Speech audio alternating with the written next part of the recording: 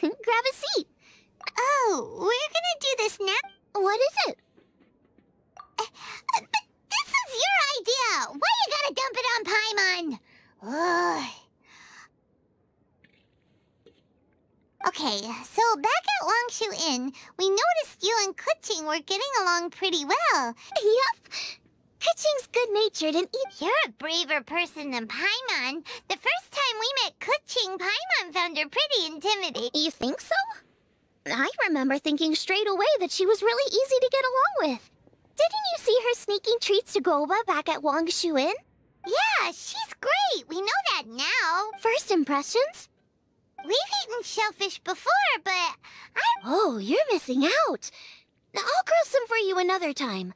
But anyway, Keqing's like a shellfish. A little closed off at first, but once you get to know her, she's got a soft and squishy side, not to mention that even after her favorite food... You make a good point.